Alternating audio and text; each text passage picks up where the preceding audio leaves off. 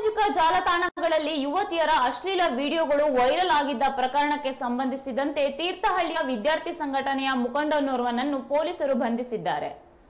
ಈ ಕುರಿತು ಎಸ್ಪಿ ಮಿಥುನ್ ಕುಮಾರ್ ತಿಳಿಸಿದ್ದು, ಸಾಮಾಜಿಕ ಜಾಲತಾಣಗಳಲ್ಲಿ ಹರಿದಾಡುತ್ತಿದ್ದ ಅಶ್ಲೀಲ ವಿಡಿಯೋಗಳಿಗೆ ಸಂಬಂಧಿಸಿದಂತೆ ಯುವಕನೋರ್ವನನ್ನು ಬಂಧಿಸಲಾಗಿದೆ. ಆತನ ವಿರುದ್ಧ ಎಫ್ಐಆರ್ ದಾಖಲಿಸಿಕೊಂಡು ನ್ಯಾಯಾಂಗ ವಶಕ್ಕೆ ಒಪ್ಪಿಸಲಾಗುವುದು ಎಂದು ಮಾಹಿತಿ ನೀಡಿದ್ದಾರೆ. ಈ ಪ್ರಕರಣಕ್ಕೆ ಸಂಬಂಧಿಸಿದಂತೆ ಯಾವುದೇ ಮಹಿಳೆ, ಮಕ್ಕಳು ಹಾಗೂ ಪುರುಷರ ಅಶ್ಲೀಲ ಫೋಟೋ ಹಾಗೂ ವಿಡಿಯೋಗಳು ಸೋಷಿಯಲ್ ಮೀಡಿಯಾಗಳಲ್ಲಿ ಪ್ರಸಾರವಾಗುತ್ತಿವೆ. ಇವುಗಳೆಲ್ಲವೂ ಸ್ಟೋರ್ ಮಾಡಲಾಗುವುದು. ಇದು ಶಿಕ್ಷಾರ್ಹ ಅಪರಾಧವಾಗಿದ್ದು ಐದು ವರ್ಷಗಳ ಕಾರಾಗೃಹ ಹಾಗೂ ಜುಲ್ಮಾನೆಯ ಶಿಕ್ಷೆ ನೀಡಲಾಗುವುದು.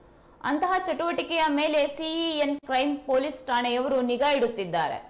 ಅಂತಹವರ ವಿರುದ್ಧ ಕಾನೂನು ಕ್ರಮ ಕೈಗೊಳ್ಳಲಾಗುವುದು. ಈ ಬಗ್ಗೆ ವಾಟ್ಸಪ್ ಗ್ರೂಪ್ ಅಡ್ಮಿನ್ಗಳು ಎಚ್ಚರ ವಹಿಸಬೇಕು ಎಂದು ಶಿವಮೊಗ್ಗ ಸಿಇಎನ್ ಕ್ರೈಂ ಪೊಲೀಸ್ ಠಾಣೆಯಿಂದ ತಿಳಿಸಲಾಗಿದೆ.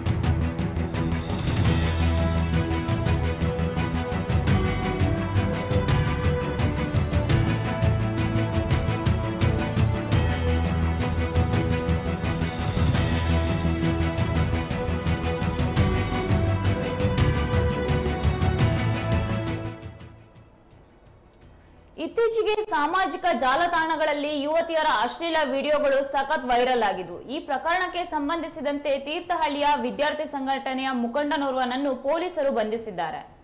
ಇನ್ನು ಈ ಕುರಿತು ಮಾತ್- ಮಾತನಾಡಿರುವ ಎಸ್ಪಿ ಮಿಥುನ್ ಕುಮಾರ್ ತಿಳಿಸಿದ್ದು, ಸಾಮಾಜಿಕ ಜಾಲತಾಣಗಳಲ್ಲಿ ಹರಿದಾಡ್ತಾ ಇದ್ದ ಅಶ್ಲೀಲ ವಿಡಿಯೋಗಳಿಗೆ ಸಂಬಂಧಿಸಿದಂತೆ ಯುವಕನೋರ್ವನನ್ನು ಬಂಧಿಸಲಾಗಿದೆ. ಆತನ ವಿರುದ್ಧ ಎಫ್ಐಆರ್ ಕೂಡ ದಾಖಲಿಸಿಕೊಂಡು ನ್ಯಾಯಾಂಗ ವಶಕ್ಕೆ ಒಪ್ಪಿಸಲಾಗುವುದು ಎಂದು ಮಾಹಿತಿ ನೀಡಿದ್ದಾರೆ.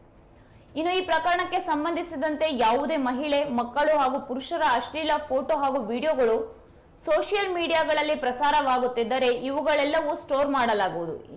ಇದು ಶಿಕ್ಷಾರ್ಹ ಅಪರಾಧವಾಗಿದ್ದು, ಈ ರೀತಿಯ ಪ್ರಕರಣಗಳಲ್ಲಿ ಆರೋಪಿ ಸಾಬೀತಾದರೆ ಐದು ವರ್ಷಗಳ ಕಾರಾಗೃಹ ಹಾಗೂ ಜುಲ್ಮಾನೆಯ ಶಿಕ್ಷೆ ನೀಡಲಾಗುವುದು. ಅಂತಹ ಚಟುವಟಿಕೆಯ ಮೇಲೆ ಸಿಇಎನ್ ಕ್ರೈಮ್ ಪೊಲೀಸ್ ಠಾಣೆಯವರು ನಿಗಾ ಇಡ್ತಾ ಇದ್ದಾರೆ. ಅಂತಹವರ ವಿರುದ್ಧ ಕಾನೂನು ಕ್ರಮ ಕೈಗೊಳ್ಳಲಾಗುವುದು.